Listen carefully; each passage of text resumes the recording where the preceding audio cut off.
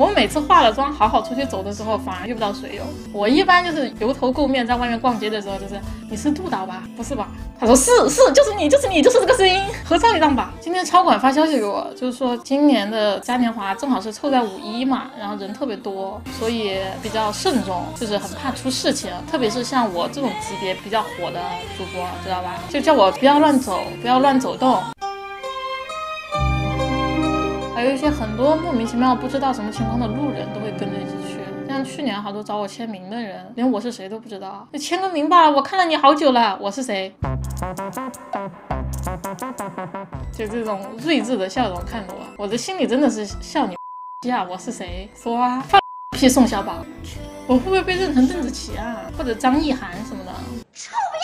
你还别说，就是会不会有粉丝认出我？就是其实我在外面自己逛街旅游啊，一个人散心啊，就是我都会有人找我合影的，没有都会吧，就是偶尔就会说哇你好漂亮，可以合照一张吗？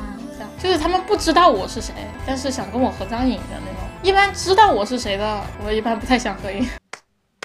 因为我是一个很懒的人，化妆卸妆很麻烦，然后又洗头，真的很麻烦。我自己出去逛街是不会洗头的，然后也不会化妆的，就是素颜，然后一个大油头。哇哦！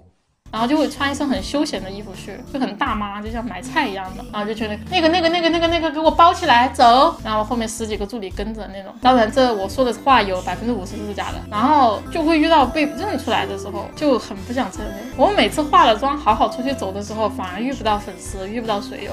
我一般就是油头垢面，在外面逛街的时候，就是你是杜导吧？不是吧？他说是是，就是你，就是你，就是这个声音，合照一张吧。我说不用吧，没事，我有美颜。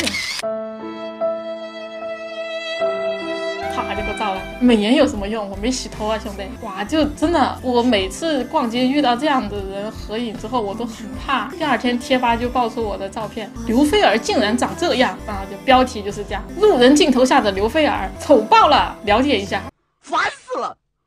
就每天都很担心这种事情发生，为了避免自己有丑闻，我还是选择不出门，网购挺好的。神他妈洗了头就认不出来了，我他妈！我在你们印象里面就这么邋遢吗？我今天头发就挺干净的啊，为什么非要洗头呢？啊，对了，我跟你们说一下啊，不要每天洗头，对你的头皮特别特别不好。其实你隔三差五的洗头对头皮才真的是好，包括你的身体也是，不要每天都洗澡，反而皮肤会更干燥。你把你那些油脂分泌物啊，保护头皮的都洗掉了，还要保护这个皮肤的。所以头发跟身体不要每天都洗，最好是五天洗一次。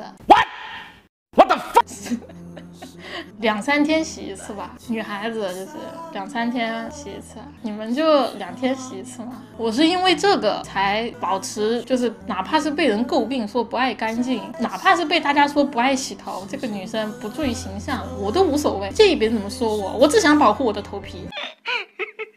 我愿意为了我的头皮与全天下为敌，我就是这么爱他，怎么办吧？你们那些广东人无法理解的，我跟你们说，北方的人真的不是天天洗澡的，而且他们如果真的天天洗澡，真的皮肤会很干燥，非常干燥，是吧？北方人，我没黑你们北方人吧？特别是住校的时候，可了解了，我跟你们说，你们南方人理解不了的。你们，我什么时候说过北方人不洗澡啦？你们怎么断章取义呢？我说北方人不是天天洗，就两天洗一次，不算邋遢吧？我觉得，但我其实也认识挺多有洁癖的人，还有一天洗三次澡的那北方人。我一般认识的就是这种有洁癖的，反而都是北方人。